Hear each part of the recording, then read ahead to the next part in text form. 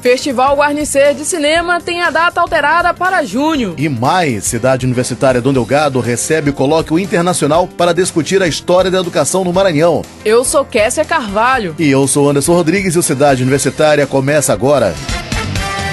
Cidade Universitária. As principais ações e acontecimentos da Universidade Federal do Maranhão. Cidade Universitária. Cidade Universitária.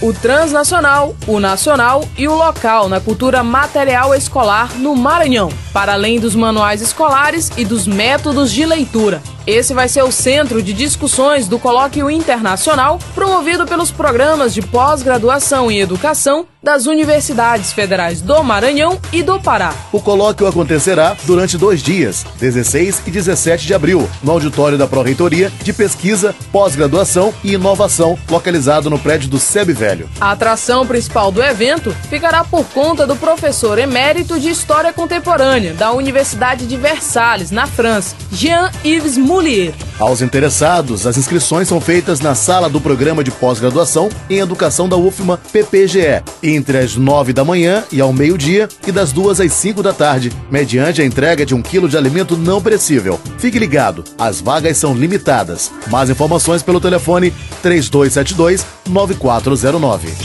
Atenção cineastas e amantes do cinema. A 41ª edição do Festival Guarnicê teve a data de realização alterada. O festival vai acontecer entre os dias 9 e 16 de junho no Centro Histórico de São Luís. O Festival Guarniceira Cinema é realizado pela UFMA através do Departamento de Assuntos Culturais DAC e se constitui de mostras competitivas, especiais, não competitivas e ações formativas. Na mostra competitiva serão premiadas produções nas categorias Melhor Longa Nacional, Melhor Filme Curta Nacional e ainda haverá premiação para Melhor Filme realizado por Maranhense, intitulado de Prêmio Assembleia Legislativa. Anote em sua agenda. O Festival Guarnicer de Cinema vai acontecer entre os dias 9 e 16 de junho. Para mais informações, 3272 9361.